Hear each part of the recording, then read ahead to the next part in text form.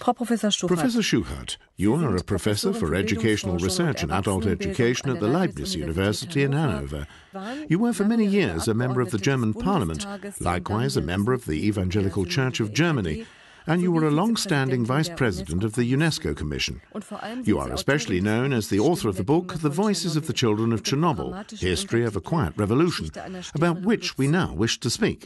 On the 26th of April, we will have reached the 25th anniversary of the catastrophe of Chernobyl zum 25. Mal. Ja, und als wir die Sendung planten, yes, and when we planned the program, we thought we'd be dealing with a warning signal for remembering.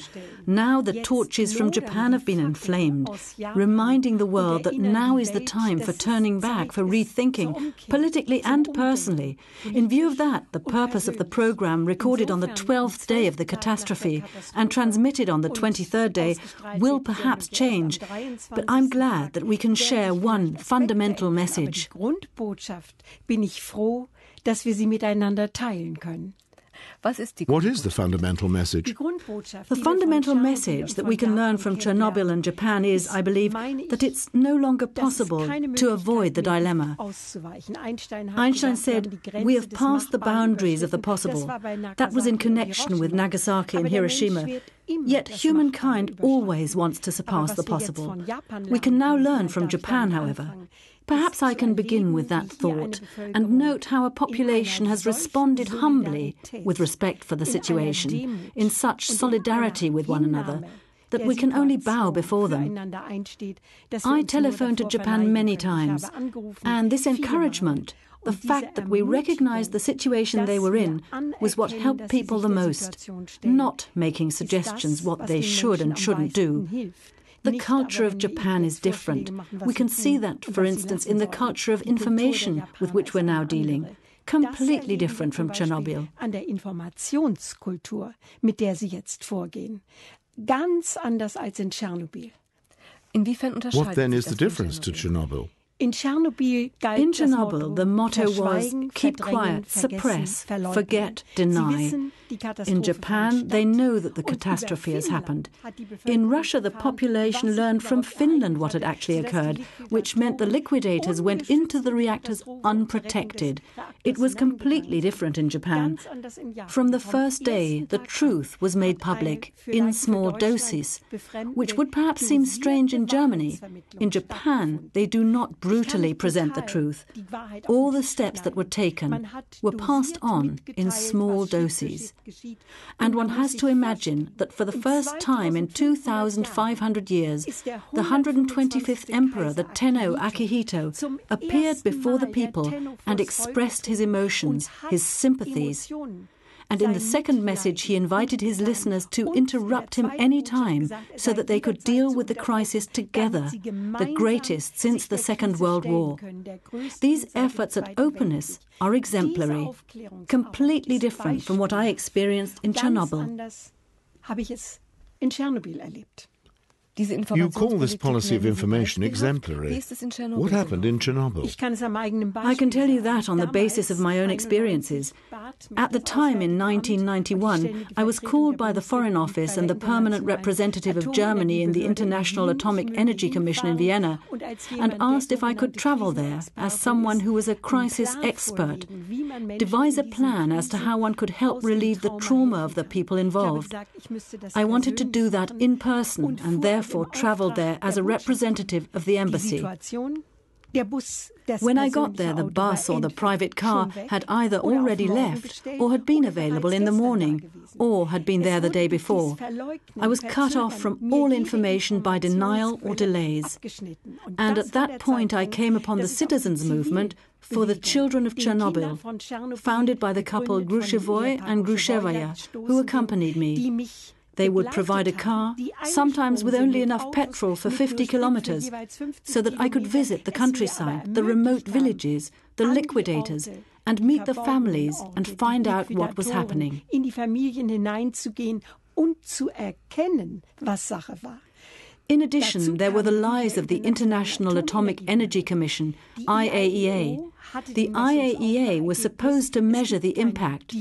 They claim there was no direct, only an indirect connection between radiation and illness. That meant that the global population didn't come to their aid, and all the doctors were instructed not to reveal the connection to patients for 10 years, or they would lose their licenses. I could confirm that in 60 interviews, and the biggest cover up was my shoulder bag was stolen, my interview tapes were removed, and the bag with my passport money and jewellery turned up the next day in a wastebasket. That's denial, concealment, suppression, forgetting, right up to the present. But we now have the message from Japan as a current issue for the entire world. You participated in setting up a foundation in Germany, a Partner Foundation. Ähm, Could you please tell us how you work with the people there? As a result of the experiences with the Belarus Foundation for the Children of Chernobyl, we, Helge Schenk, Burkhard Hohmeier, and myself, together with the federal government, established For the Children in Chernobyl, which is a bridge between East and West, which has now brought almost half a million children from East to West and from West to East over the last 20 years. We've built up a two way system for encounters, support, and education.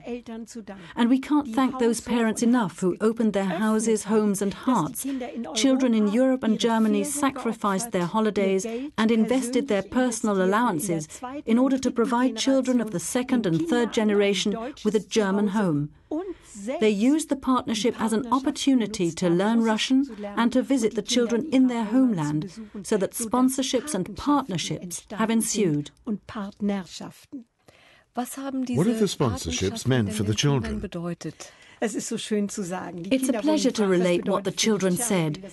When they were asked, What does Chernobyl mean for you? little Anna said, Chernobyl, for me that's Tatiana. And Tatiana, that's for me Chernobyl. And we two belong together like the rainbow in the sky. And the Russian girl on boarding the plane, When I grow up, it'll be the other way round. Then you will spend your holidays with us in Belarus. It was different with the children's parents, the guest parents who came over. Yes, it was a terrible time. They didn't want to allow them to travel. They didn't want the people to be infected by democracy. Who would not allow this? Well, it's obvious that the political system wanted to prevent any opening to the outside world.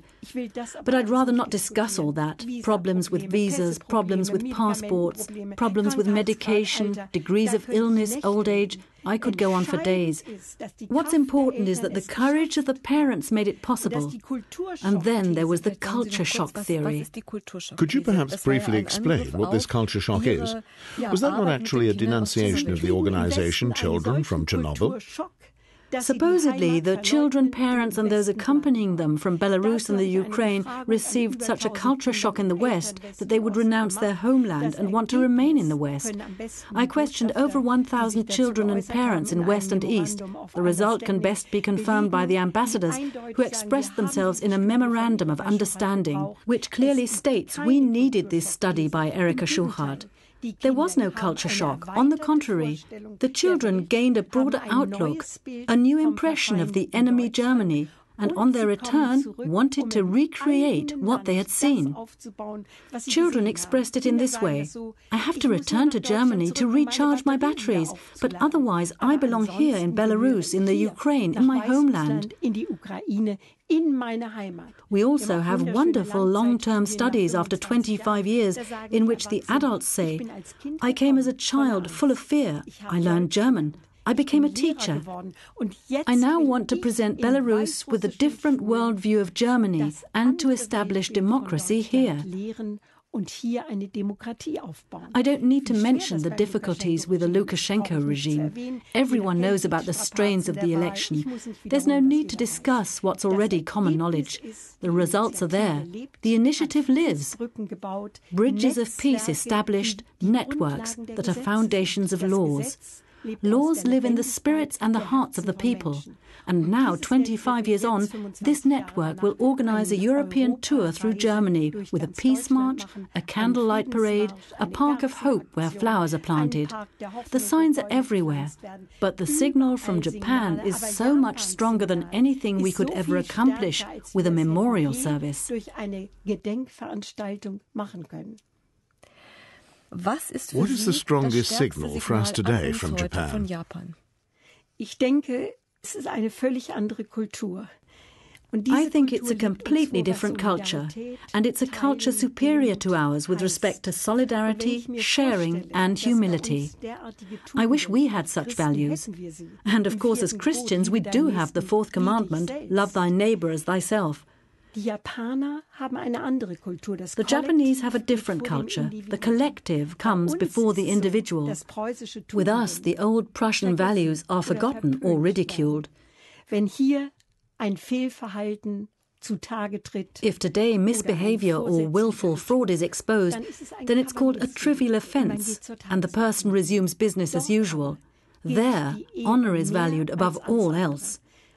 We all remember the interview where the Japanese firefighter directing the water hoses on the reactors wrote to his wife, and she tells him, Please go there, be a savior of Japan.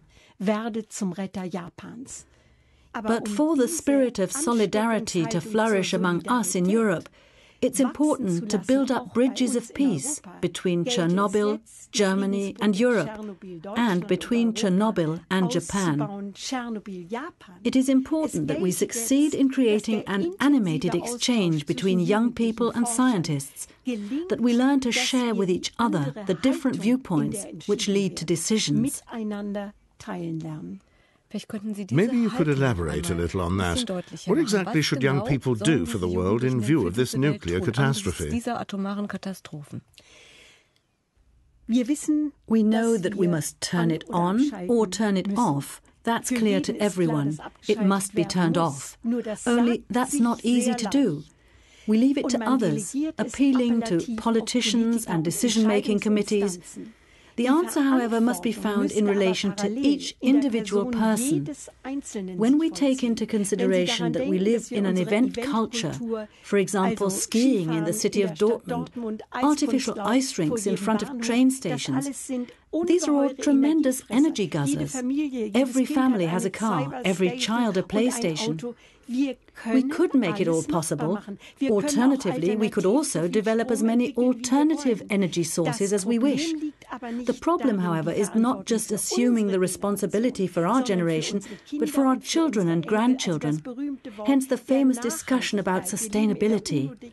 We're still in the UN Decade of Education for Sustainable Development, ending in 2014. Yet that has not made its way into the lives of every individual. There should be this turning point, but it can't be decreed. We can create energy quotas, but that doesn't change the inner attitude. You could point out the discussion that, for instance, the Kuril Islands of Russia should be returned to Japan so that there would be alternative areas for living in case districts are contaminated. But that also would not change anything. No one would listen. It's a matter of building world bridges of peace and facilitating the change through communication with one another from different cultures. You're known as an ambassador who has implemented so much in your personal life. I'd like to come back to that. You're a practicing Christian and were also for many years a member of the Synod of the Evangelical Church in Germany. What made you, as a Christian, tackle this initiative in Chernobyl? You know, when you're a Christian, you always want to relate faith to life because you live it every day, today, tomorrow, and in the future. There's no difference between Christians and non Christians with regard to their actions, but maybe the reasons for their actions differ. What's been a great help to me, however, was that through the Christian faith, I acquired the strength to deal with crisis situations involving humiliation, degradation, injury, and crises without end.